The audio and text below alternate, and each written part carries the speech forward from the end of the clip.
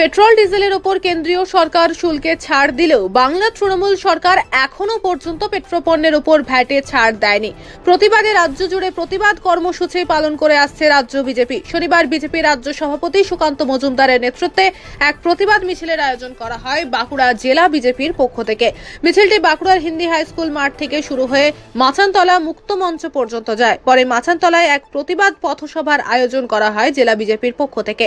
এদিনের এই কর্মসূচিতে রাজ্য সভাপতি ছাড়াও উপস্থিত ছিলেন বাঁকুড়া লোকসভার বিজেপি সাংসদ তথা কেন্দ্রীয় শিক্ষা প্রতিমন্ত্রী ডক্টর সুভাষ সরকার ও জেলা বিজেপির নেতা কর্মীবৃন্দ সভায় বক্তব্য রাখতে গিয়ে রাজ্য সরকারের বিভিন্ন জনবিরোধী নীতির বিরুদ্ধে আওয়াজ তোলেন বিজেপি নেতৃত্বরা। সভা মঞ্চ থেকে বাঁকুড়ার পৌরসভার প্রাক্তন চেয়ারম্যান মহাপ্রসাদ সেনগুপ্তর বিরুদ্ধে দুর্নীতি অভিযোগ বিজেপি রাজ্য সভাপতি। বিজেপির পথসভা ঘিরে শুরু হয়েছে রাজনৈতিক চাপানোতর। যদিও সুকান্ত মজুমদারের করা অভিযোগের বিরুদ্ধে কড়া মন্তব্য করেন পৌরসভার প্রাক্তন চেয়ারম্যান। বানানোর জন্য জায়গায় জায়গায় সমস্ত নাটক করেছে, কোথাও গরুর গাড়িতে চেপেছে, কোথাও মোটর সাইকেল ঠেলেছে। কিন্তু আজকে যখন নরেন্দ্র মোদী সরকার, যখন পেট্রোল, ডিজেলের দাম কমিয়ে দিল। আর দিকে দিকে ভারতীয় জনতা পার্টির শাসিত রাজ্যগুলো তার সঙ্গে আরও যোগ করে দাম কমিয়ে দিল। তখন এই রাজ্য সরকার, তারা কোথায়, কি কাজ করছে? তারা অনেক বড় বড় কথা বলছে, কিন্তু জনমুখী কোনো কাজ নেই। পুরো নাটক চলছে রাজ্য জুড়ে। এসএসসি রিক্রুটমেন্ট হয়েছে। দশ বছরে মাত্র দুবার। আর তা নিয়ে কেসের পর কেস চলছে। আদালতে দাঁড়িয়ে বিচারপতি, চাকরি প্রার্থী যাকে ধরেছে যিনি কোর্টে গেছেন, বিচারপতি বলছেন যে ইনি নিজে ভুয়ো চাকরি প্রার্থী, ভুয়ো লেটার নিয়ে চাকরি জয়েন করেছেন, একে অ্যারেস্ট করার ব্যবস্থা করা হোক। মুখ্যমন্ত্রী কথায় কথায় বলেন, এগিয়ে বাংলা। আমরা বলছি লজ্জা হয় দিদিমণি বাংলার জন্য।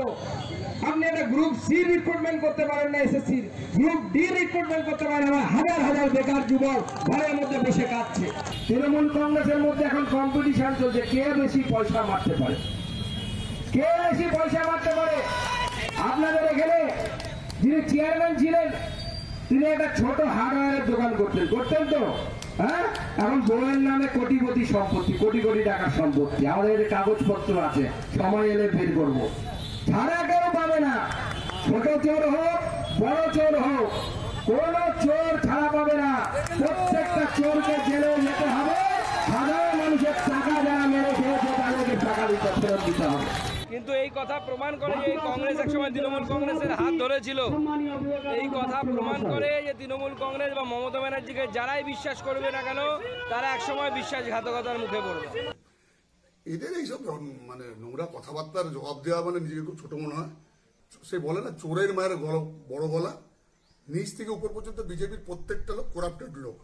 ওদের যারা এমএলএ, এমপি, কেউ ইলেকটেড চুরি করে, কেউ চূড়ায় রিভলভার দিয়ে কেসে জেল খেটেছে, কেউ চোরায় মোটরসাইকেল চুরি করে, কেউ লোকের বিধবা ভাতা টাকার ভাগ নেয়, কেউ বাড়ির টাকার ভাগ নেয়, এরা আবার বড় বড় কথা বলছে। আমিও সুকান্ত মজুমদারকে পনেরো দিন সময় দিলাম, এর মধ্যে যদি উনি প্রমাণ করতে না পারেন তাহলে পরবর্তী সময় তিনি যখন বাঁকুড়ায় আসবে তাহলে কান ধরে উঠবস করাবো বাঁকুড়ার এই মাচান তলার মুখে।